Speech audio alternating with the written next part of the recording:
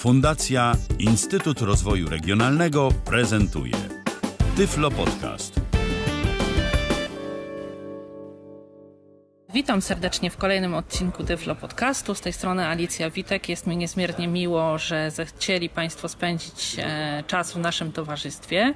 Dziś e, Tyflo Podcast e, gości w miejscu niezwykłym, jakim jest Flyspot. Czym jest Flyspot? Jak można tutaj spędzić czas? O tym opowie mój i Państwa dzisiejszy gość, pan Marcin Protasiewicz. Witam serdecznie, panie Marcinie. Dzień dobry, witam. E, panie Marcinie, Pan e, tutaj wspiera swoją, e, swoją profesjonalną uwagą i szkoleniem osoby, które odwiedzają Flyspot. Gdyby był Pan uprzejmy na początek powiedzieć, co to za miejsce, mm, co można tutaj robić, jak można tutaj spędzać czas? Jasne. Flyspot to tunel aerodynamiczny, w którym można, krótko mówiąc, latać. No i latamy tu na różnych poziomach. E, można przyjść i spróbować, e, prawdopodobnie zakochać się w tym e, i zacząć trenować, albo po prostu przychodzić i trenować latanie.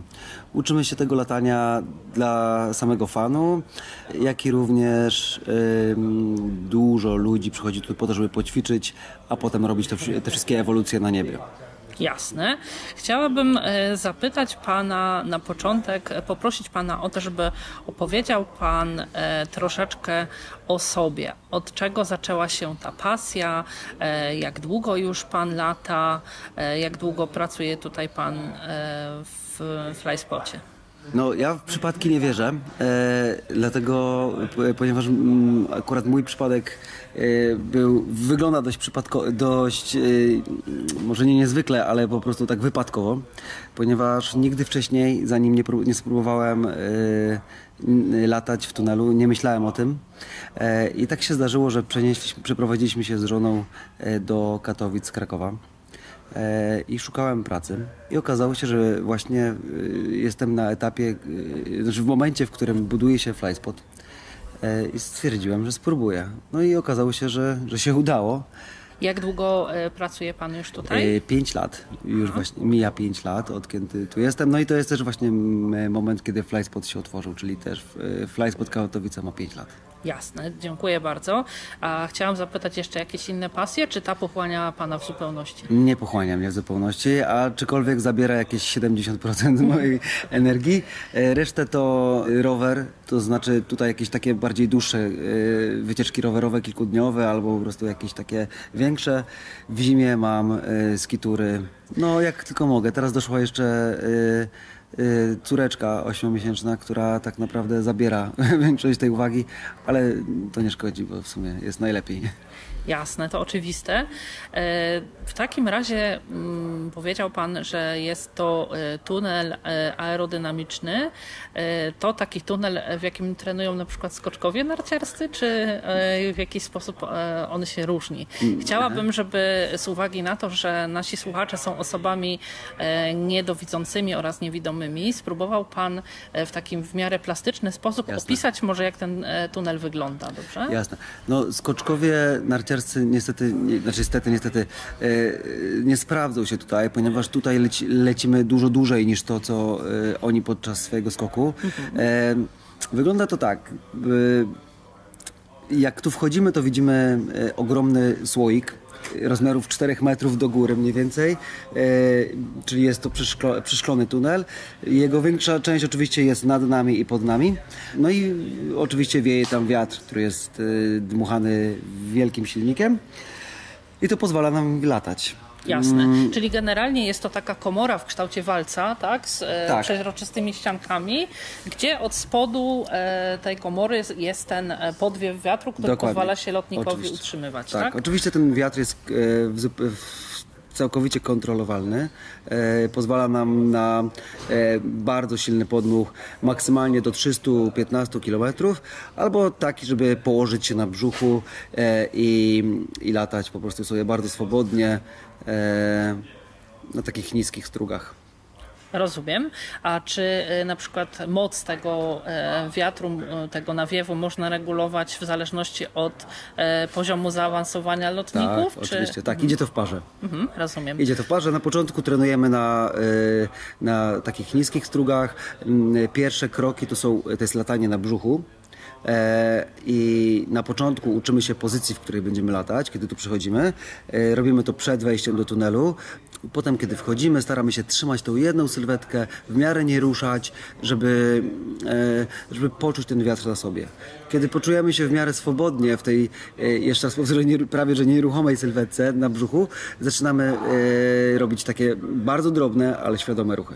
I tak krok po kroku zaczynamy takie, taką prawdziwą przygodę z lataniem mhm. świadomym. A jakie e, powinien e, lotnik ruchy wykonywać? Czy to są ruchy takie bardziej zbliżone do ptasiego latania, nie, czy nie, takie nie. do pływania? Bardziej zbliżone do ruchów e, samolotu, który wykonuje podczas lotu. Aha. Czyli to są bardzo drobne ruchy. Kiedy chcemy skręcić w prawo, to same dłonie robią lekki ruch w prawo. Mhm. To są tak drobne ruchy. Rozumiem, czyli nie gdzieś na wysokości ramion czy łokci e, sterujemy rękami, tylko samymi dłońmi, tak? Jak na przykład, skrzydeł, tak, tak, tak, tak, tak, tak. Mhm, Można to naprawdę e, porównać do ruchów, jakie wykonuje samolot podczas lotu. Jasne, rozumiem. One są praktycznie niewidoczne z daleka, prawda? To w kontekście jeszcze e, tych takich e, początkowych, inicjacyjnych kwestii, e, jak długo ogólnie, bo pewnie jest to kwestią osobniczą, jak długo generalnie można powiedzieć przebiega ten taki czas wdrażania, zanim osoba będzie gotowa już do takich w miarę samodzielnych, pełnych lotów? Jasne. E, to może od początku. E, jakby proces mniej więcej wygląda tak, że przychodzimy sobie tutaj do nas na e, minimum dwa wejścia. To są dwa wejścia po półtora minuty i zaczynamy od szkolenia, które trwa tak mniej więcej z 15-20 minut. I tu właśnie się uczymy tej sylwetki, jak się zachować, czego nie robić. Po czym wchodząc do tunelu jesteśmy cały czas instruktorem, i uczymy się latać. I mniej więcej te 3 minuty pozwolą nam, e, e, czyli te dwa wejścia po półtora minuty, pozwalają nam na to, żeby jakby przyzwyczaić się odrobinę do tego powietrza. Potem następne wejścia, które już wykonujemy, to najczęściej umawiamy się na minimum 10 minut, które, gdzie, to we, gdzie te 10 minut sobie rozkładamy na przykład na 5 wejść po 2 minuty. Mhm. I to już jest czas, w którym naprawdę można zacząć się uczyć latać. E, kiedy spędzamy ten cały czas z instruktorem e, i uczymy się tych sylwe, tej pozycji, e, tych drobnych ruchów e, i tej pracy z wiatrem, bo tutaj też jest bardzo e, istotny taki element balansowania czyli takiego po prostu nauki swojego ciała e, względem tego wiatru. Ja przepraszam, że przerwę na chwilkę. Jasne. Tutaj słyszymy właśnie w tle, jak pracuje e, ta komora, tak? E, tak w tej chwili. To mm, w takim razie przejdę do mm, kolejnego pytania, bo e, wspominałeś o tym, że te pierwsze wejścia e, są z instruktorem. Jak rozumiem, mm, tutaj e, zawsze pod opieką kogoś z personelu Flyspota w trakcie tych pierwszych wejść tak uczestnicy czy y, przyszli, przyszli e, lotnicy e, spędzają czas w komorze. W drugiej części e, podcastu będę rozmawiała z moim mężem, który miał tutaj przyjemność latać. Będąc z nim w trakcie tego jego pierwszego lotu tutaj, widziałam, że miał takie wstępne szkolenie przed wejściem do, do tego tunelu aerodynamicznego. Chciałabym, żebyś w kilku słowach przybliżył przybliżył nam, e, na czym to szkolenie polega, e, czego ono dotyczy, Jasne. jakie wskazówki otrzymuje e, osoba, która przychodzi. Jasne. To tak jak już wspomniałem, na, na takim szkoleniu dowiemy się w jakiej sylwetce leżeć na tym wietrze. E, dowiemy się, że no, tam też tracimy e, zmysł e, słuchu, ponieważ tam jest na tyle głośno, że generalnie nie da się rozmawiać, więc umawiamy się na pewne sygnały, które ma, mają na przykład wyprostować nogi, tak? Albo dać głowę do góry. I to są też te ruchy, które nami sterują podczas lotu.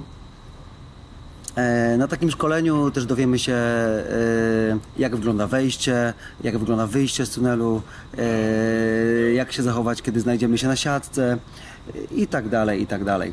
A mm, w nawiązaniu do tych sygnałów troszkę Mhm. chciałabym porozmawiać z Tobą, bo pewnie to też zainteresuje jakoś słuchaczy Tyflo Podcastu.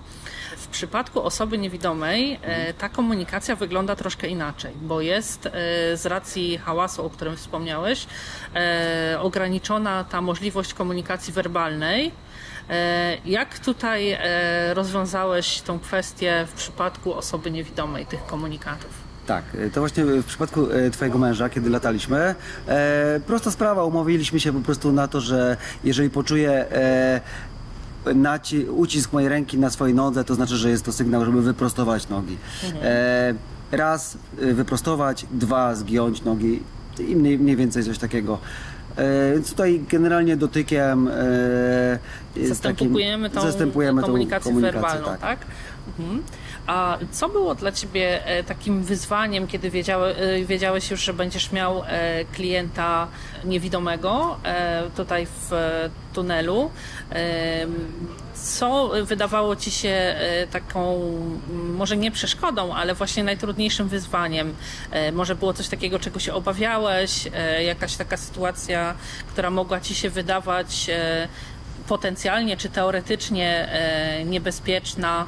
Szczerze powiedziawszy, właśnie nie wiedziałem czego się spodziewać, yy, dlatego podszedłem do sprawy zupełnie otwarcie.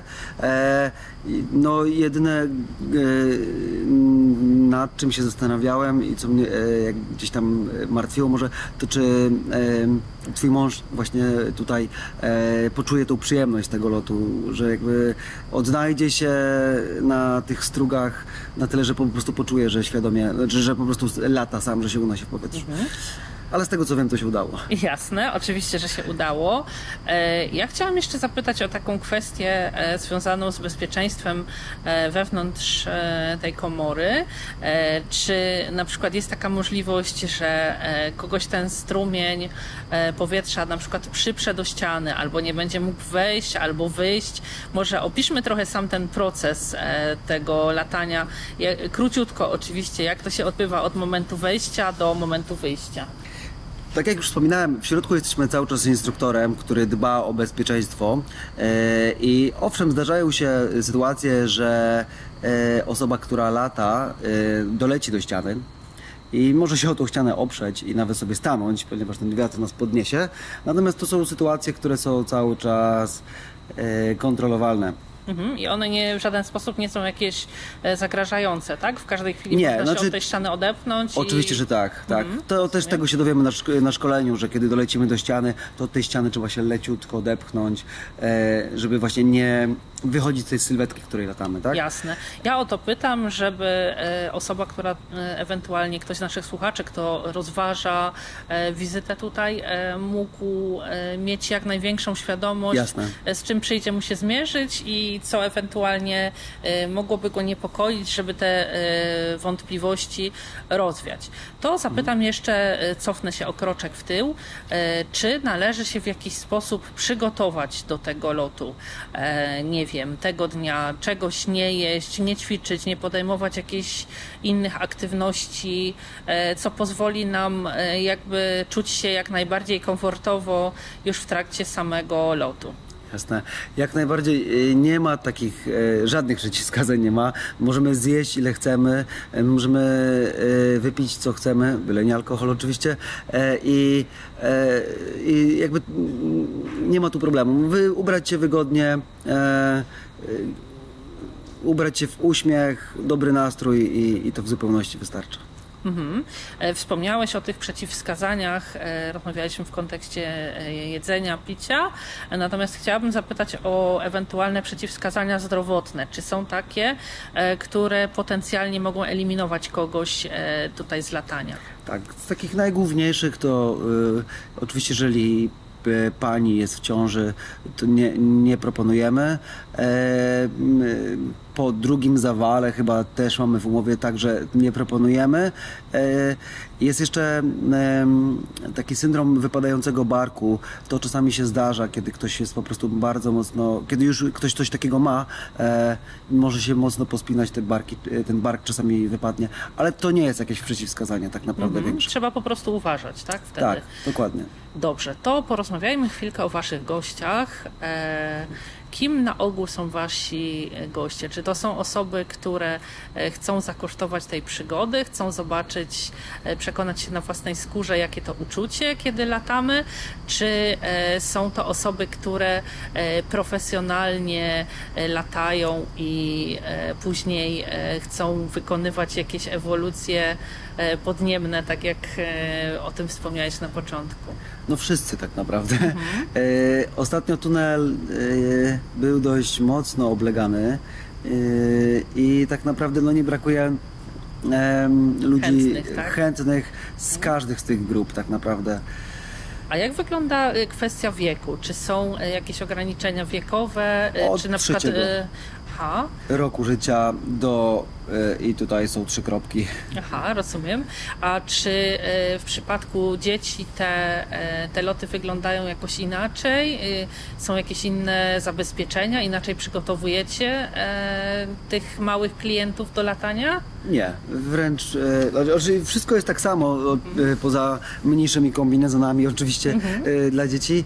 E, no pamiętajmy, że dzieci są bardzo plastyczne, więc jakby e, dzieci tak naprawdę e, łapią e, to wszystko w locie, że się tak wyrażę. No i szybko się odnajdują, więc tutaj mm, czasami mamy tylko taki wzrok na sobie, albo rodzice zapytają, ale pan nie puści mojego syna, tak? Będzie trzymał moją córkę, czy coś takiego. E, Najczęściej trzymamy te dzieci przez większość czasu, natomiast tak jak mówię, one naj... y, jest tak, że dzieci się bardzo szybko odnajdują w tej syl- sylwetce sytuacji, w środowisku e, i spokojnie można e, takie dziecko puścić samemu latać, być blisko e, i no i to naprawdę działa. Super, to chciałabym zapytać e, na koniec o dwie rzeczy. E, Jedną o takie e, może najbardziej, nie wiem, poruszające, zabawne, oryginalne doświadczenie w pańskiej pracy. A na koniec zapytam jeszcze o to, jak można się tutaj z Państwem skontaktować i w jaki sposób należy się umawiać.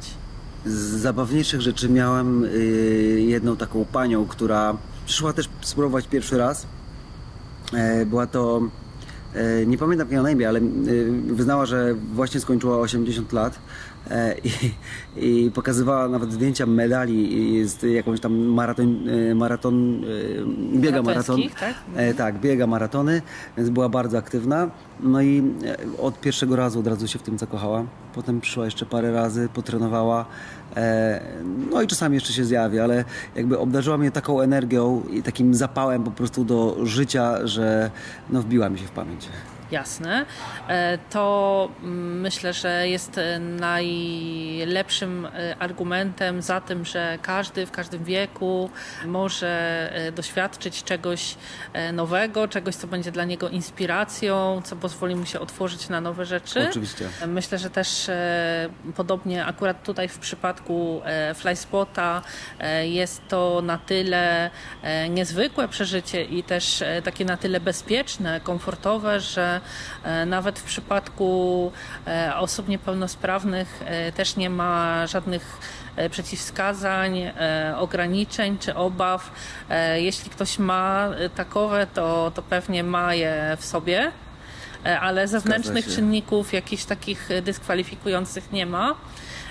To zanim przejdę do tej części, w której mój mąż opowie o swoich doświadczeniach, o tym jak odbierał tutaj fly spot, odbierał ten lot, to poproszę jeszcze Pana o taką garść informacji, e, jak można się z Państwem kontaktować i jak należy się umawiać, z jakim wyprzedzeniem to Jasne. robić, e, czy można zasięgnąć jakichś dodatkowych informacji i zadać pytania. Oczywiście, że tak.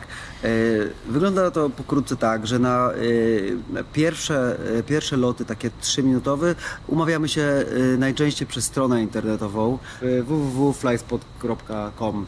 E, Można też oczywiście zadzwonić na numer nasz tutaj rece- e, recepcji i tam można sobie e, nabyć, umówić się na taki 3-minutowy pakiet. To są właśnie te początkowe loty dwa razy po półtora minuty. To najczęściej jest pierwszy krok. Można też umówić się bezpośrednio z instruktorem. No nie kryję, że ta opcja jest wygodniejsza, ponieważ mamy od razu kontakt z instruktorem, z którym możemy zacząć się uczyć latać. To jest droga dla ludzi, którzy już chcieliby od razu zainteresować się tym troszkę bardziej i wtedy i wtedy no, albo przez stronę internetową, albo telefonicznie, telefonicznie tak? można się skontaktować z instruktorem. Jasne. Bardzo dziękuję. E, dziękuję za całą rozmowę. E, przypomnę, że Państwa i moim gościem e, był Pan Marcin Protasiewicz, e, pracownik Flyspot Katowice. E, serdecznie dziękuję. Do usłyszenia. Dziękuję bardzo. Do usłyszenia. W drugiej części naszego podcastu, zgodnie z zapowiedzią, e, witam Piotra. Witaj Piotrze. Witaj Alicjo, dzień dobry Państwu. Chciałabym przez chwilę porozmawiać z Tobą teraz o e, doświadczeniach, e, odczuciach, jakie towarzyszyły Ci przed, w trakcie i po lataniu w tunelu aerodynamicznym. To może zacznę od takiego prostego pytania. Kiedy odwiedziłeś Flyspot? Flyspot odwiedziłem tuż po świętach Bożego Narodzenia, czyli z obecnie parę miesięcy temu, tuż przed Nowym Rokiem. Była to taka forma prezentu. A powiedz mi, czy kiedyś wcześniej miałeś podobne doświadczenia, czy nie? E, ani jeśli chodzi o flyspot, czyli takie latanie w tunelu, ani o skoki ze spadochronem, ani jakiekolwiek podobne sytuacje, żadnego doświadczenia nie miałem. Skoro nie miałeś wcześniej takich doświadczeń, czy miałeś e, jakieś wyobrażenia na temat tego, jak to będzie wyglądało? Czy towarzyszyły ci jakieś obawy? Czego ogólnie się spodziewałeś? Znaczy, tak, wyobrażenia miałem, ponieważ jeszcze pamiętam, jak wyglądają tunele aerodynamiczne, jeszcze nie takie, mm, że tak powiem, komercyjne, gdzie każdy mógł sobie przyjść i polatać sobie, ale takie, które były wykorzystywane gdzieś tam przez sportowców. Mm, więc jakieś tam wyobrażenie miałem. Generalnie wcześniej bałem się, mówiąc e, wprost, e, skoków ze spadochronem, bo nasłuchałem się różnych historii, nawet leżąc w szpitalu na Ceglanej, gdzie z okien widać lotnisko Muchowiec, gdzie mm, codziennie można obserwować, jak tylko się widzi skoki na spadochronie. Mm, e, pamiętam taki dzień, gdzie właśnie instruktor zabrał córkę swoją na 18 urodziny, żeby zafundować jej skok ze spadochronem i jej się spadochron nie otworzył. Więc tego typu historie skutecznie zniechęciły mnie od prób e, skoków ze spadochronem ale taki fly spot to wydało mi się interesujące, bo była to taka forma mm, podobnych doświadczeń, przynajmniej z tego, co opisywali mm, instruktorzy. Ale w pełni asekurowana, tak? Tak, i w takich bezpiecznych warunkach, że no, daleko bym nie odleciał. Jasne. To porozmawiajmy teraz y, o tym, jak y, przygotowywałeś się do tego Twojego latania. Zacznijmy od e, garderoby. Czy musiałeś się jakoś przygotować w kontekście tego, co na siebie założyć? Może jakieś specjalne obuwie? Jakie tutaj przygotowania musiałeś podjąć przed latem? Generalnie tutaj nie ma za dużo mm, komplikacji, bo zalecają nam ubrać się jak najwygodniej, czyli najlepiej jakaś jakieś spodnie z dresu, mm, jakaś koszulka z krótkim rękawem i to taka, taka zwykła podkoszulka, t-shirt, żadne tam polo mm, i do tego buty sportowe. Też najlepiej może takie nawet na rzepy, albo jak już wiązane, to najlepiej, żeby je sobie tam zawiązać na, na dwa supełki, żeby gdzieś tam sznurówki nam się nie majtały. No a finalnie i tak dostajemy na miejscu y, kombinezon, taki kombinezon Mm, w który jesteśmy w cudzysłowie wsadzani, bo on jest zapinany na plecach, więc oczywiście efekt jest taki, że w momencie jak ktoś musi Wam pomóc dociągnąć ten zamek mm, pod szyję na, na plecach, ja w tym momencie oczywiście pierwsze skojarzenie, o kurczę, muszę do toalety, szczególnie, że oczywiście byłem chwilę wcześniej przewidując podobną sytuację w toalecie, ale to jest taka chyba podświadoma reakcja organizmu. E, do tego później oczywiście dostaliśmy jeszcze gogle, mm, takie bardzo płaskie, przylegające mm, bardzo mocno do twarzy. One chronią przed e, tym powiewem powietrza, które nas unosi, nasze oczy, tak? Tak, i mhm. myślę, że też jest to taka dodatkowa osłona, bo tam jednak wykonuje się różne akrobacje. Czasami do tego tunelu wchodzi kilka osób i gdyby mm, doszło do jakiejś tam w cudzysłowie stłuczki w powietrzu, no to lepiej też, żeby tam oczy były e, zabezpieczone. W tym samym celu też e, zakładamy kask i on jest też taki dość solidny. E, tak naprawdę kask wydaje mi się, że no jeśli jesteśmy sami z instruktorem, no to on nie bardzo nam się przyda, więc najbardziej przydaje się do tego, że na kasku macie wymalowany numer i później na podstawie tego numeru e, operator może przygotować Wam nagranie z akrobacji, jakie wykonujecie sobie w tym tunelu aerodynamicznym. Przesyła je na maila i to jest taka e, miła e, cyfrowa pamiątka z pobytu we Flyspocie, tak? Tak jest. Dobrze, to przez moment popytam Cię teraz o szkolenie. E, tutaj już mówiliśmy o tym, że każdorazowo mm, mm, przed e, pierwszym lataniem e, uczestnicy są bardzo szczegółowo mm, instruowani przez pracowników Flyspotu. Chciałabym zapytać, czy dla Ciebie to szkolenie było takie w pełni czytelne, w pełni jasne. Jak je oceniasz z punktu widzenia osoby niewidomej? Mhm. Dla mnie fajne było to, że jakby czekając na mm, samo wejście na instruktora, mm, tam są takie stoliczki, można sobie posiedzieć. Generalnie jest tam kawiarnia czy restauracja, czegoś się napić.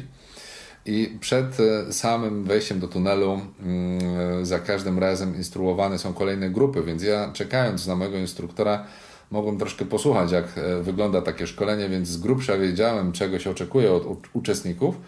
Mm, no ale wiecie, no całe to szkolenie wyglądało trochę na zasadzie i teraz zróbcie tak, ręce musicie trzymać w ten sposób, bo instruktor oczywiście pokazywał wszystko mm, osobom widzącym, więc trochę się tego obawiałem, ale w momencie, gdy przyszedł e, instruktor, zaproponował mi, żebyśmy przeszli sobie w ogóle do takiej oddzielnej salki. Była to taka sala gimnastyczna. Siedziały tam sobie jakieś osoby, mm, coś tam sobie gwarzyły, a on, e, instruktor w sensie, e, pokazał mi wszystko, w sensie jak mam mm, stać w jakiej e, pozycji, gdy będę wchodził do tunelu, jak mam opadać. Powiedział mi, jak w sensie wchodząc do tego tunelu, bo to jest taka rzecz, której ja osobiście najbardziej się bałem, ponieważ nie mogłem sobie wyobrazić, jak to jest, gdy w momencie, gdy wchodzimy do tunelu, drzwi są na pewnej wysokości, gdzieś tam na dnie tego tunelu jest siatka, y, z dołu dmie z dużą prędkością e, powietrze i ja mam wyjść pew na pewnej wysokości i położyć się na tym powietrzu. Jak to jest? Czy wychodzę prosto, tak jakbym robił krok naprzód, czy kładę się, czy, czy o co chodzi? No czy i właśnie... z szczupakiem.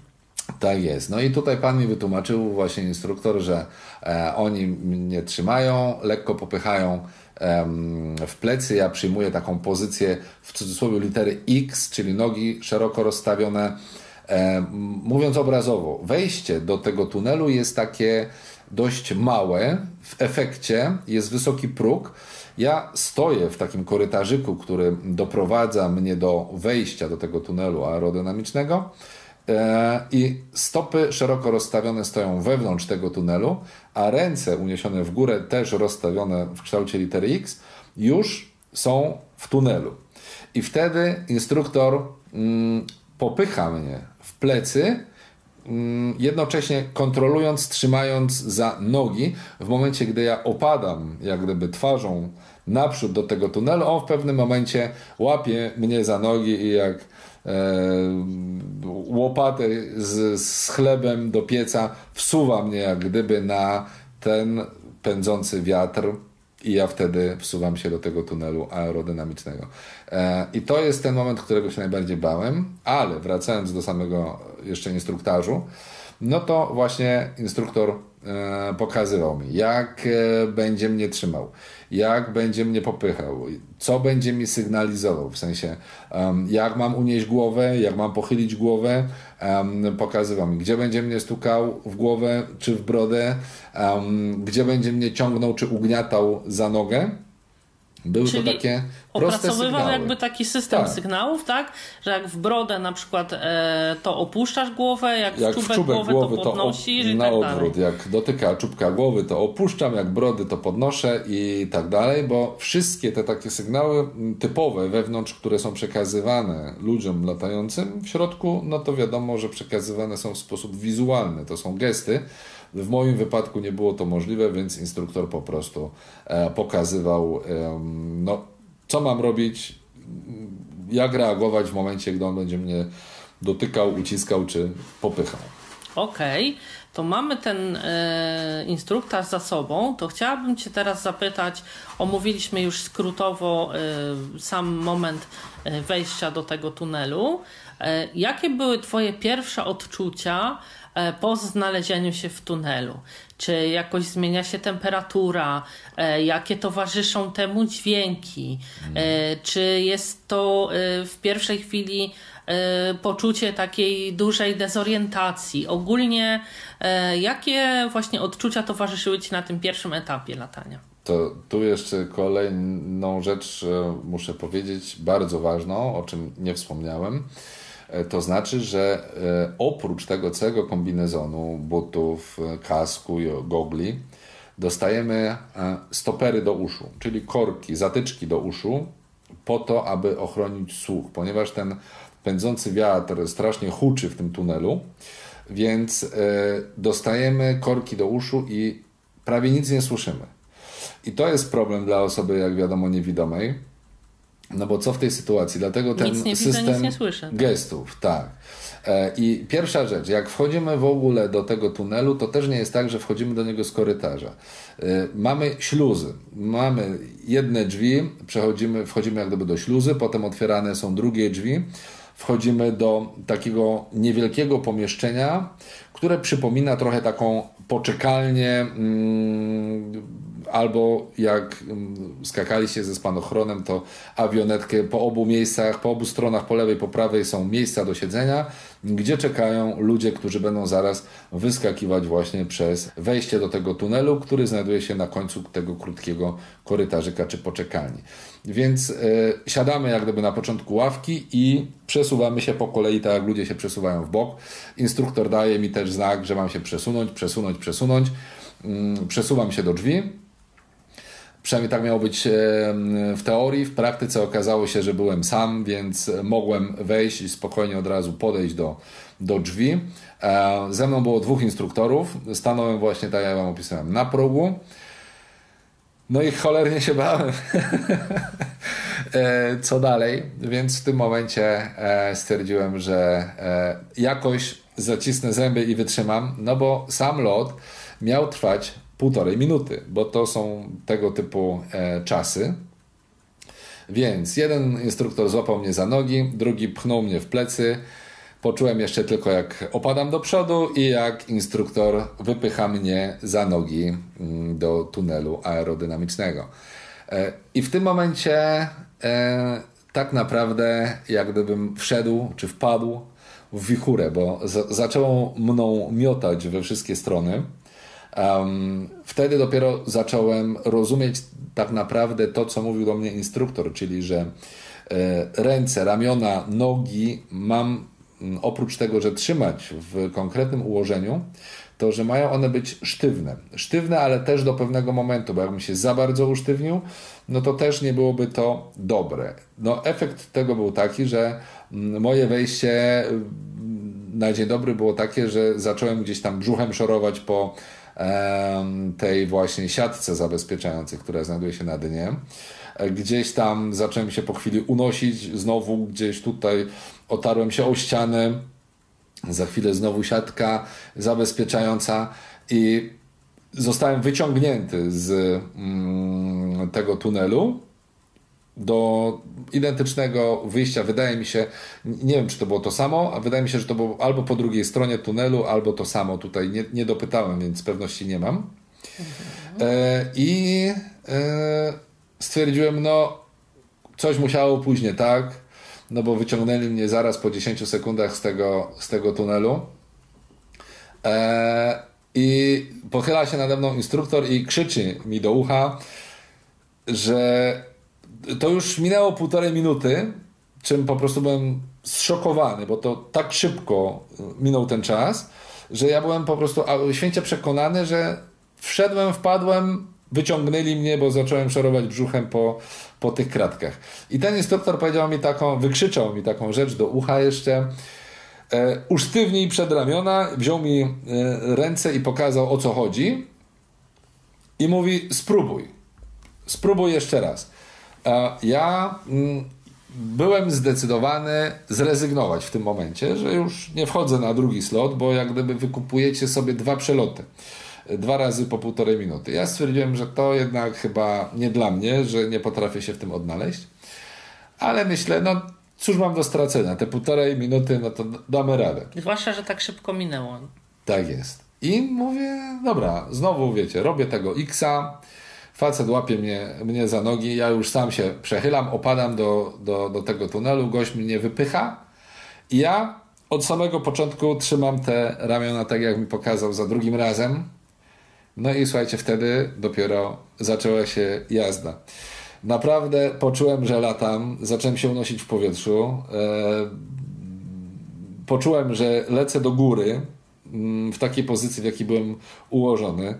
Mm, mówiąc kolokwialnie, tak mi się gęba zaczęła cieszyć, że zrobiłem szerokiego banana i nie wiem, czy to było najmądrzejsze, bo nie mogłem zamknąć ust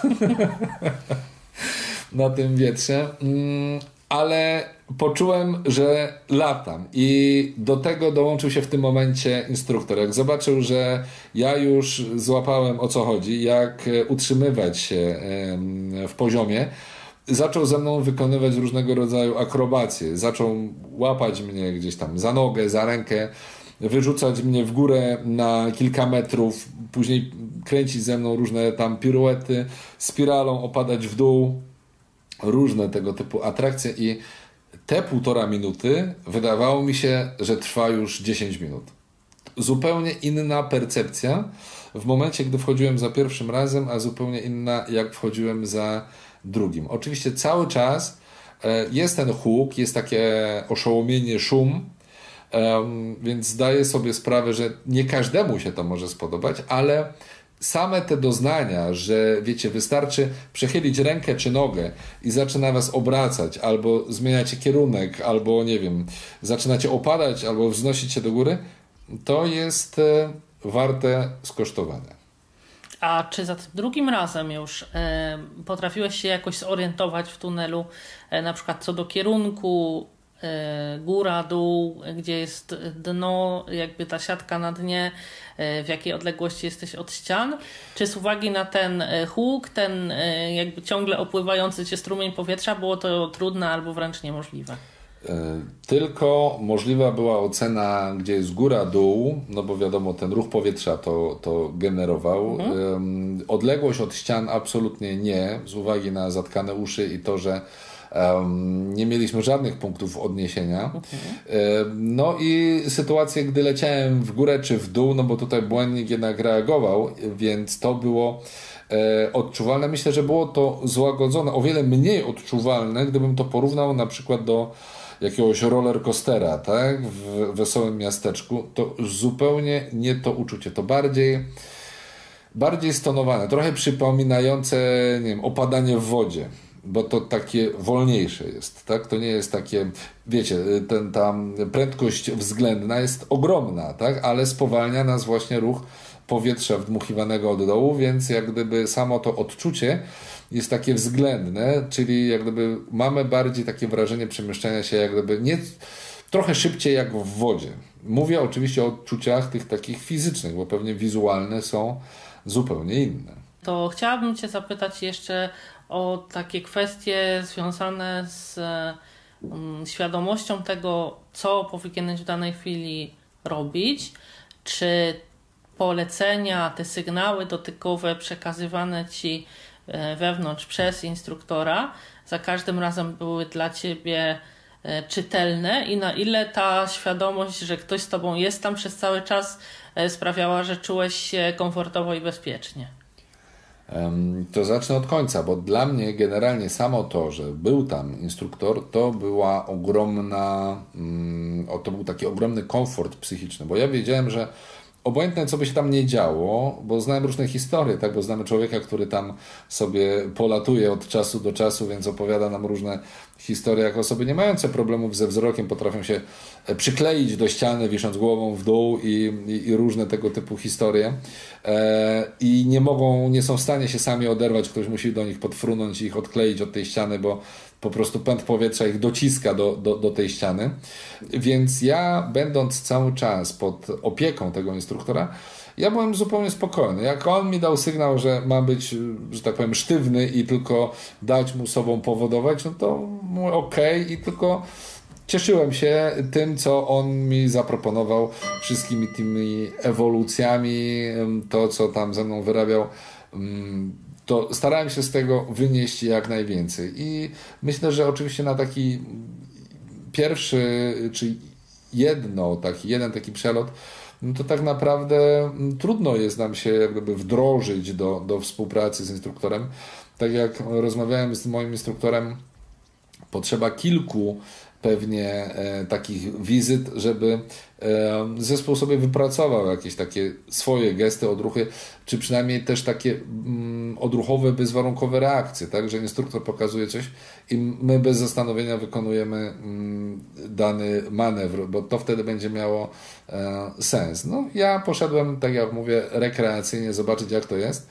Mm, więc trudno tu mówić o jakiejś tam rozwiniętej współpracy, ale te podstawowe, bo tak naprawdę tych komunikatów tam jest 4 czy 5, mm, to tutaj nie, nie, nie ma jakiegoś tam mm, wielkich trudności, żeby to wszystko zapamiętać, mhm. ale tak jak mówię, no dla płynności tutaj działań, czy, czy, czy zachowań, czy jakiejkolwiek akcji, no to pewnie trzeba iść parę razy i to sobie po prostu przećwiczyć.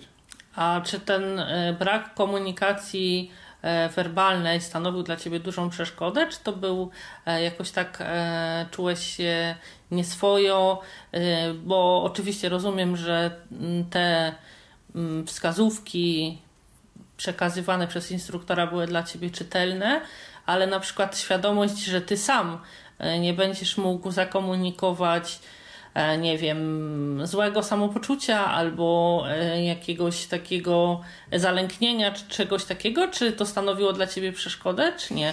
Bo ja przyznam szczerze, że ja e, nie zdecydowałam się na ten lot właśnie ze względu na mm, takie obawy, E, związane z brakiem możliwości tej komunikacji werbalnej, że e, jakoś tam nie będę mogła zasygnalizować, jeżeli e, będę się źle czuła albo jakoś, nie wiem, będę chciała wyjść, czy. Nie, to ja tutaj już Ci powiem, bo mhm. ja miałem taką sytuację, że też miałem takie obawy, bo normalnie ludzie coś tam zasygnalizują, pokażą, bo ludzie też nie krzyczą tam. I, mhm, tak, i, ale oni i, pokażą na przykład na wyjście, tak? My nie, nie pokażemy. Ja, no właśnie, ja się umówiłem z gościem, że jak będzie coś nie halo, to pokazuje kciuki w dół. Mhm, okay. I to jest dla niego był jasny komunikat, on okej, okay, że jak będzie kciuk w dół, no to mamy się y, zawijać. Ale a propos tej werbalnej komunikacji, no to wcześniej mm, przekazali mi pewne informacje i ono też y, mogą być mylące, bo na przykład była taka sytuacja, że mówi mi tak, że słuchaj, będziemy wylatywać z tunelu, to e, dotknę Twoimi dłońmi e, futryny tego wejścia, tych drzwi. Mm, złap się, wtedy ja Cię złapię za nogi i postawię do pionu. Czyli wiecie, ja Cię łapię wysoko futryny, on opuszcza mi nogi do dołu, ja robię krok do środka i wtedy już wychodzę poza ten strumień powietrza, jestem bezpieczny w środku. I wszystko spoko, tylko nie powiedział mi, że te futryny wyglądają zupełnie inaczej, bo one ze względów bezpieczeństwa obite są taką takim materiałem, jak gdyby materacem. Więc one w ogóle nie przypominają futryn, tylko takie grube wałki z materacu. Takie usta. Tak, i w pewnym momencie jeszcze wiecie, ja dotknąłem tej futryny górnej belki, tak, no bo zle, zlatywałem z góry I on tu stuka mi po czymś dłońmi, ten instruktor, a ja sobie myślę, kurde, co ten facet chce ode mnie, tak? Dopiero jak ktoś z wewnątrz tej poczekalni złapał mnie za ręce i przyłożył, rozstawiając na boki, to się zorientowałem, że aha, chodzi, to jest pewnie ta futryna. Złapałem się jej i wtedy ten instruktor złapał mnie za nogi, opuścił w dół. Ja wtedy tylko krok zrobiłem i już byłem w środku, więc um, niby komunikacja werbalna, ale właśnie um, to była taka rzecz, która chyba w sumie najbardziej mnie zaskoczyła, bo o wszystko, o wszystko zapytałem, o wszystko przegadaliśmy, ale nikt mi nie powiedział, że te futryny będą wyglądały zupełnie inaczej. Jasne.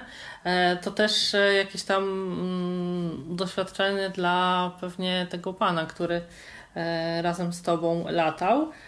Dobrze, to powolutku będziemy już tutaj finalizować tą opowieść o lataniu.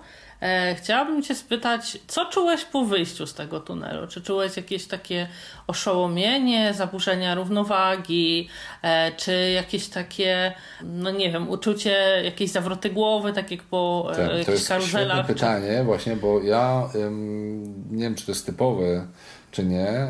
Chyba nie, część wiem, że osób niewidomych ma coś takiego, część nie. Ja należę do tych niestety osób, które mają to, że na karuzelach, rollercoasterach y, błędnik mi tak szaleje, że wystarczy, że przejadę się taką mm, rollercoasterem dla pięciolatków i już wytaczam się z niego, bo po prostu tak mi błędnik szaleje, że nie wiem gdzie dura, góra, gdzie dół i już jestem po prostu jak y, mały Kazio po dużym piwie, po prostu y, zataczam się i, i w ogóle wyglądam jak nawalony. E, I bałem się, że tu będzie podobnie, że po tych ewolucjach, po tych spiralach, jakimś opadaniu z góry na dół i tak dalej, że będę też taki oszołomiony i, i jak pijany, a zupełnie tego nie miałem. Mhm. I po prostu tyle, co wsiadłem, wszedłem do tej poczekalni, mm, oni jeszcze tam e, pytają, czy chcę usiąść, ja tylko pokręciłem głową, że nie, że możemy wychodzić. Weszliśmy do tej śluzy, no i byłem w szoku po prostu. Nic, nic mną nie, nie miota na boki. Um, Żadnych zero problemów z utrzymaniem tak. równowagi, tak? Tak. To mm, chciałabym Cię spytać, gdybyś miał e, taką sposobność, czy chętnie powtórzyłbyś ten lot? E, myślę, że tak. Myślę, że tak. Bo to nie jest coś takiego, co nie wiem, jak wyjście na basen, tak? Co ym, robię regularnie i robię to z prawdziwą przyjemnością, ale jest to takie. Y, bardzo, jakby to powiedzieć, odstresowujące doznanie, bo to jest tak inne, tak um, coś nietypowego dla, dla nas, dla ludzi, samo to latanie, unoszenie się w powietrzu. Nieważkie. Y, wyzwoliło to we mnie y, tyle pozytywnej energii, tyle endorfin, że po prostu no, cały czas gęba mi się śmiała do samego wieczora. I jeśli chcemy sobie zrobić dobrze, po prostu doświadczyć czegoś nowego, no to ja ze swojej strony polecam, bo to jest naprawdę e, coś niesamowitego, coś innego po prostu, tak? Jasne. E, a powiedz mi, e, czy patrząc z, w kontekście osoby niewidomej, tak? która musi jakby tutaj zrezygnować z tej komunikacji werbalnej, wyłączyć sobie słuch, polegać na tych sygnałach przekazywanych przez instruktora. E, też e, jesteś pozbawiony tych bodźców wizualnych, e, które mm, przekazują jakiś sygnał do mózgu, że latasz, tak? I to też jest jakimś takim nietypowym doznaniem, tak? Unosisz się, latasz, odwracasz się, góra, dół i tak dalej. E, czy mimo to uważasz, że to jest fajne doświadczenie dla osoby niewidomej i że warto, e, mógłbyś je polecić, warto e, spróbować czegoś takiego? Myślę, że tak, bo pamiętam też, gdy pochwaliłem się na Facebooku, że, że byłem na czymś takim, kilkoro ze znajomych też pisało, że było w różnych miejscach we Wrocławiu, w Warszawie, bo to ja byłem akurat w Katowicach, ale te fly spoty są również w innych miejscach w kraju więc e, kilkoro znajomych pisało, że, że byli, że im się bardzo podobało i że chętnie wybiorą się mm, jeszcze raz, więc myślę, że nie jestem odosobniony w tych e, zachwytach. Mm, I myślę, że tak, że warto. Warto po prostu, szczególnie jeśli macie coś takiego jak ja mam, czyli e, obawę przed konsekwencjami skoku ze spadochronem, a chcielibyście tego doświadczyć bo te półtorej minuty to jest taki porównywalny czas właśnie tego swobodnego spadania ze spadochronem. Nie mówimy o tym, znaczy bez spadochronu, tak? bo o to chodzi, że właśnie spadamy mm, zupełnie swobodnie, mm, bo lot ze spadochronem już to opadanie na czaszy jest y, wiadomo wolniejsze i dłuższe. To jest bardziej jak e, wieża swobodnego spadania? Nie, tak. bo tutaj cały czas masz spadanie, a tutaj się w pewnym momencie jakby utrzymujesz na jakimś tam poziomie, tak? No tak, ale tu jak gdyby latasz, ale mhm. tylko dlatego, że wiesz, nawet spadając tak jak mamy to wolne um, spadanie, jak nie wiem, wyskoczysz z samolotu, tak? To tak jak są um, te akrobacje lotnicze. W zależności jaką tam e, pozycję ciała przybierzesz, no to przemieszczasz się, czy szybciej opadasz albo wolniej, mhm. albo szybciej, tak? Dzięki temu um, ci akrobaci są w stanie różne tam figury układać. I tu mamy to samo, czyli ciągły jak gdyby spadanie, ale w tym momencie możemy je jak gdyby zwolnić czy, czy przyspieszyć, a w efekcie, ponieważ jest ciągły, ta, z tą samą mocą wieje ten strumień powietrza, no to efekt jest taki, że się po prostu unosimy. Mhm. E, dziękuję Ci bardzo, że zechciałeś podzielić się swoimi doświadczeniami z słuchaczami Tyflo Podcastu i ze mną. E, państwu dziękuję już za uwagę i zapraszam do wysłuchania kolejnych moich podcastów. E, moim i Państwa gościem był dzisiaj Piotr Witek. Dziękuję Ci raz jeszcze, Piotrze. Dziękuję, dziękuję Państwu. Ja również dziękuję i do usłyszenia. Kłaniam się. Ala Witek. Był to Tyflo Podcast. Pierwszy polski podcast dla niewidomych i słabowidzących. Program współfinansowany ze środków Państwowego Funduszu Rehabilitacji Osób Niepełnosprawnych.